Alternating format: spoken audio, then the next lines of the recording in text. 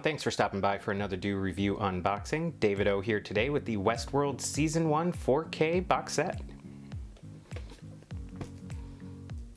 This is, I believe, the first show to be released in 4K on disc. I know it is HBO's first foray into the 4K format, and I'm hoping they continue along with this, because I need me some Game of Thrones in 4K.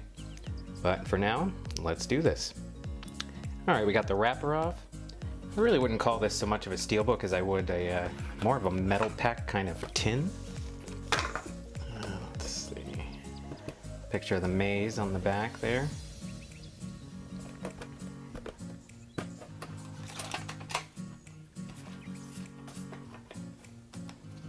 Lots of stuff, which I will post some pictures of that at the end.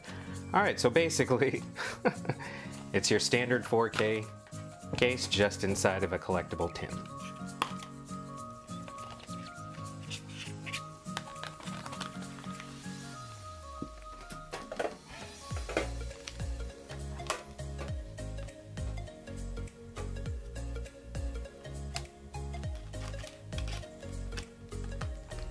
And obviously, as you can see, these discs don't stay on these trays very well.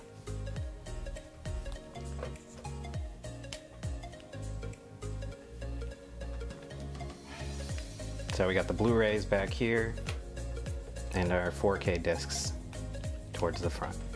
Kind of disappointing that uh, really this tin just has this uh, set just kind of dropped in the inside. Kind of hoping this was more of a, uh, I don't know, a multi-paged metal pack, if you will. But nice case regardless. You have a nice insert here. I'll post pictures, high-res pictures of this at the end, so if you guys want to be able to uh, see all of this and freeze frame on them and actually read up on what's here, uh, I'll have pictures for that at the end. And this is pretty cool. It's a corporate guidebook, basically, for uh, new employees of Westworld.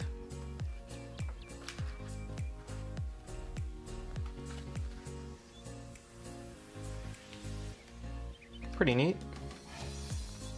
Full disclosure, the show is pretty awesome, but it confused the hell out of me. I had to watch each episode like two or three times, but uh, I am really looking forward to season two. Overall, the set's kind of cool.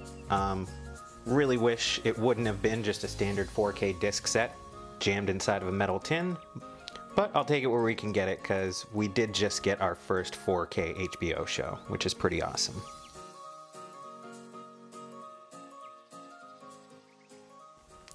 Well, that's to do it for me, guys. Thank you so much for watching. As always, be sure to like and subscribe down below. You can find me on Facebook, Instagram, and Twitter at Do Review Movies. I'm David O, and until next time, may you rest in a dark and dreamless slumber.